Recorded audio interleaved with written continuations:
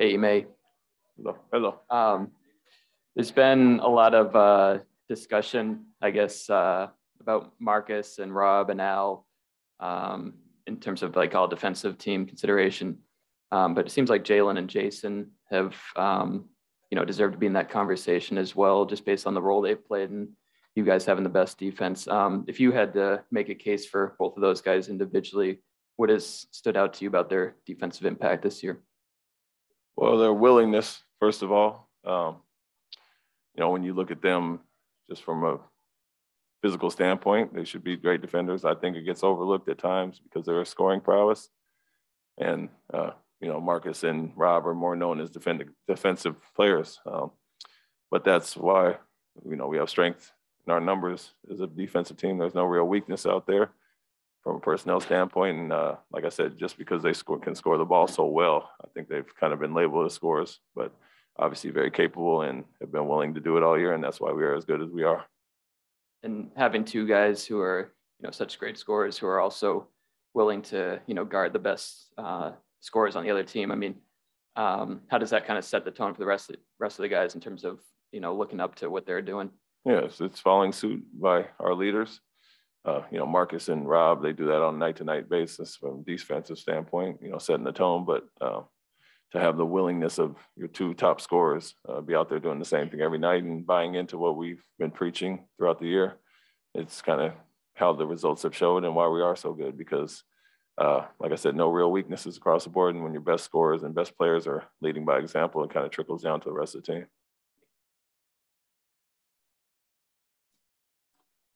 Hey, May. Um, you know, teams must be getting pretty inventive with Jayson. I mean, there are teams that still can get to him, like last night. Uh, the Dallas game comes to mind. Just how much do you guys still have to combat the different ways that they're going to blitz him and double him? Yeah, we we you know looking at Miami and some of the things they do, uh, we are prepared for that, understanding the the hot streak he's on right now, back to back player of the week, and you know averaging around 33, 34.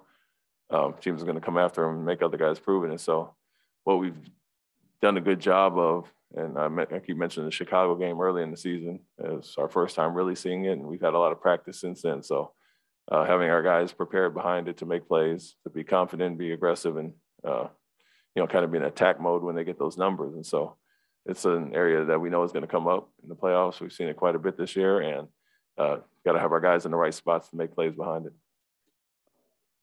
Is you know this just sort of increases the standard for him of how he's trying to beat all these double teams. I mean, just how much has he improved in that respect all season? Yeah, he's he's been great. He's made the right plays. He yeah, gets off the ball, um, trusts his teammates, and like I said, he's enjoying the success that they have because of you know the attention that he commands.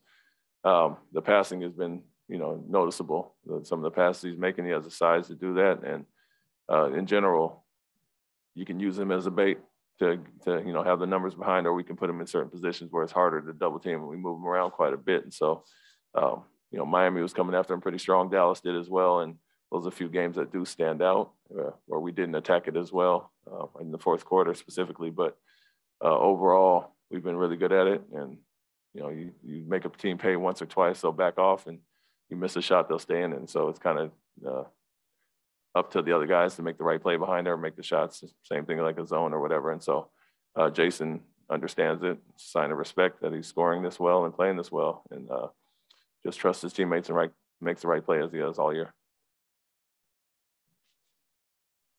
Look like you and Jayson were having kind of a longer chat down there. Anything you can share with us? No, just uh, touching on last night and what which we did with the team in a film session, and you know looked at the, all the opportunities. We didn't play our best basketball, and we were up or down one at halftime. Um, you know, 11-3 run to end the half. Some of the things we could have done better. The fouling, you know, seven seven free throws late in that late in the second quarter, and then being up four going into the fourth quarter.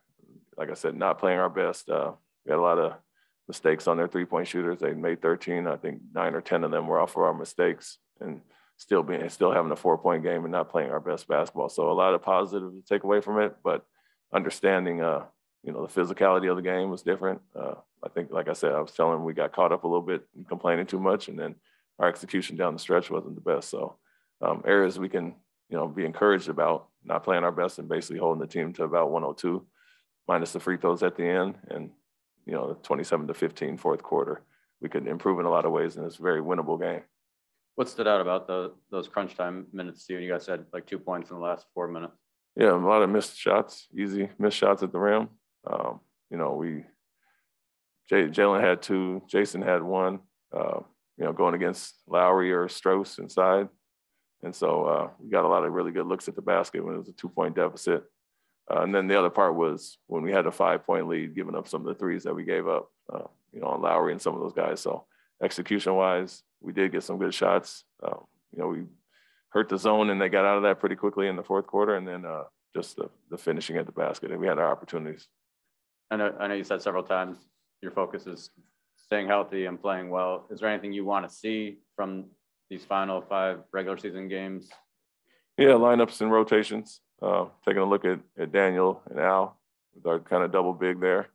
We know what Grant is, and we've seen him throughout the season when guys have been in and out. So taking a look at uh, Daniel and Al together, how that works, and then um, Derrick as well with certain combinations. So, you know, we want to be more crisp than we were yesterday um, offensively, and then defensively get back to our standard, which is, you know, could hold the team to 90 if we didn't give up those threes. And so to hold them to 102 as poorly as we defended the three point line uh, shows that we can be an elite team on that end. Uh, I think you mentioned Rob start doing stuff today, two days and all that. Like what, what is he able to do initially, I guess, after the surgery? Well, it's initially just the movement, the movement part, you know, getting back into, he's in, he's in the meetings in the gym in good spirits. And so getting him around and just getting that flexibility back in off top. And then you can kind of build up pretty quickly from there. Um, and Juwan Morgan, 10 day contract, I guess, uh, what did you like about him and bringing him back, I guess, after training camp? Yeah, we had him in camp. He was, he was banged up a little bit in camp and then, uh, had a good, really good year with Maine. Uh, another guy that can do what we're asking on the defensive end uh, with some of the switching, and you know he's he's done a really well, good job down in Maine, and uh, obviously that translates to here with the same system. So uh, a guy that was close by has paid his dues, played well, and uh, can jump right in if, if need be in a snap. Um, and it's been about it's been more than two months since you guys lost back-to-back games. I guess is that something you feel within the season? Just I guess especially during the grind of it feel as far as what I'm sorry. Just like you're like, oh shoot, like we actually lost two games, or just. Yeah, I mean it's it's different situations in some of those. Obviously, Toronto, we didn't have anybody, and you know felt like we still should have won that. Um, you know, played hard in that game. This game was a little bit different in the sense where uh, we got caught up in some other things that we hadn't in a while, and so we want to get back to what we've done well and playing through physicality and contact and understanding how teams are going to defend coming to playoff time and what they're going to do to Jayson and different guys. So we've been really good at that. And uh, obviously, last night wasn't our best, especially in the fourth quarter. But uh, I wouldn't take a ton away from Toronto with all the guys we had missing, but love the effort and fight up there. Thanks. Ime uh, in this post-COVID in NBA as a coach, you have to have a discussion with some of your guys who might not be vaccinated or might be questioned about it to say, especially the, the heat that Kyrie's taken about the public scrutiny or hey, get it cleared up or I, I got I get your personal choice, but you have to have to, those discussions since you've taken over even as an assistant last year with guys who were against it or might not have been? No, I mean you don't have those discussions. Honestly, it's it's a personal choice, and everybody, you know, it's it's up to them. That's their decision. But um, you know, it's it's been two years now that that's all been on the table. And so everybody knows the uh, restrictions or whatever. And so we leave that up to the guys. It's their personal choice. And, and there's not much discussion that we have with them. And it just seems like you've got to be willing to suffer the consequences of, let's say you do have a, a series in Toronto and maybe a guy can't play. I mean, is, is that something you're willing to accept or is that something you deal with down the road? I think everybody in the NBA knows uh, the restrictions in certain places. Obviously, the New York and Los Angeles mandates if you're a player there, and uh, Toronto changing their restrictions lately. So it's it's something that's well known around the league. And like I said, everybody's personal choice, but it's not something that we try to influence or discuss with anybody. And what can you do over the next? I mean, we get enough practice time over the next week or so to, to be able to implement some of the things you're looking to do and changes, or will you just have to do it in games? A little bit of both. Uh, we have some time in between, obviously the back to back coming up on the road trip, but uh, we have days off after that. And today was a good chance to watch some film and, and see some of the mistakes we made yesterday. And so teaching points for sure. We can get on the court and, and as much as we can help Daniel in that regard and, and even Derrick's to some extent, I think we need to take advantage of that. Uh, they're out there playing with some lineups and groups that they haven't as much, and Jayson, Jaylen, Marcus as well, playing with these guys that they haven't seen as much this year. So takes a little bit of time, not a ton of practice time now. So the film sessions are crucial, obviously, and then the in-game adjustments uh, that we're kind of doing on the fly will be beneficial. Turnovers in Toronto, they were kind of ripping you guys at midcourt and getting runouts, but it seemed some most of them uh, last night were unforced. What did you see with with the 18 turnovers? Some carelessness for sure. I uh, you know try to make some home run passes and just sloppiness overall. And that's why I said our fourth quarter execution wasn't the best. Um, you know, we had 18 as a team. They scored 18 off those. They had 18. We scored 24. So we technically won that battle, but a lot were unforced, um, you know. And so just keeping, keeping it simple, making the right play as we have in a while, uh, understanding their team that's very physical and uh, looks to, you know, get, get out and get steals. And so uh, just KYP with Butler and some of those guys that reach and grab and – had to be stronger with the ball and make better decisions. And Jayson had three shots in the fourth quarter. Is that okay if he makes all the right plays, or do you go, Jayson? you got to be more aggressive? Like, how do you approach that when teams are trying to stop him from shooting, but he's your best scorer?